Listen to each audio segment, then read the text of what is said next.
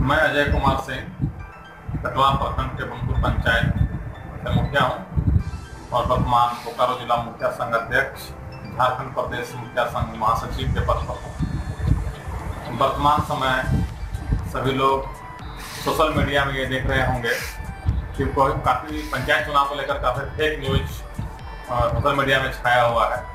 जिसमें चार चरणों में होगी पंचायत चुनाव। का शीर्षक है इस संबंध में मेरा ये कहना है कि ये जो न्यूज़ है, पंचायत चुनाव से संबंधित, ये बिल्कुल ही गलत दिग्भ्रमित करने वाला और फेक न्यूज़ है। इस भ्रम में कोई न रहे अभी कोरोना महामारी के काल में सरकार चुनाव कराने में सक्षम नहीं है। काफ़ी सारे जो काम बाकी रह गए हैं, इस कारण पंचायत चुनाव होना संभव नहीं है। ऐसे में मुखिया लोगों का कार्यकाल बढ़ना ही बढ़ना है। अब देखना ये है कि जल जंगल ज़मीन की बात करने वाले हमारे माननीय मुख्यमंत्री हेमंत सोरेन जी, स्थानीयता की बात करने वाले हमारे माननीय मुख्यमंत्री हेमंत सोरेन जी और जन सरोकार की बात करने वाली झारखंड मुक्ति मोर्चा महागठबंधन की सरकार, जो रघुवर दास को ब्यूरोक्रेट की सरकार कहा करते थे और ये सब बातें करके झारखंड के सत्ता पर आसीन हुए हैं। अब देखना ये दिलचस्प होगा कि क्या झारखंड की वर्तमान सरकार ब्यूरोक्रेट्स के हाथ में पंचायती राज व्यवस्था को सौंपने, सौंपेगी, या फिर जनप्रतिनिधियों के हाथ में ही रहने देगी, या फिर महात्मा गांधी के ग्राम सभा के सपना को साकार होने के लिए ग्राम सभा की जो शक्ति है, उसको गाँव वालों के ग्राम वासियों के हाथ में रहने देगी। सुनने में यह आ रहा है कि मुखियाओं का कार्यकाल तो बढ़ेगा, पर वित्तीय पावर जब्त कर ली जाएगी।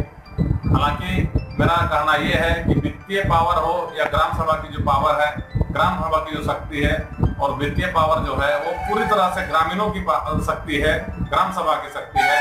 झारखंड सरकार से मेरा आग्रह होगा कि अगर चुनाव कराना संभव नहीं हो पा रहा है तो आप निश्चित रूप से यह तय करें कि झारखंड की जो पंचायती राज व्यवस्था है, वो ब्यूरोक्रेट्स के हाथ में ना जाए, वो पदाधिकारियों के हाथ में ना जाए, बल्कि झारखंड के आम आवाम के हाथ में रहे, गरीब जनता के हाथ में रहे ग्राम सभा के हाथ में रहे, ताकि महात्मा गांधी जी के ग्राम सभा का सपना साकार होता नज़र आए। वैसे भी हम बत्तीस वर्षों से पिछड़े हुए हैं पंचायती राज व्यवस्था में।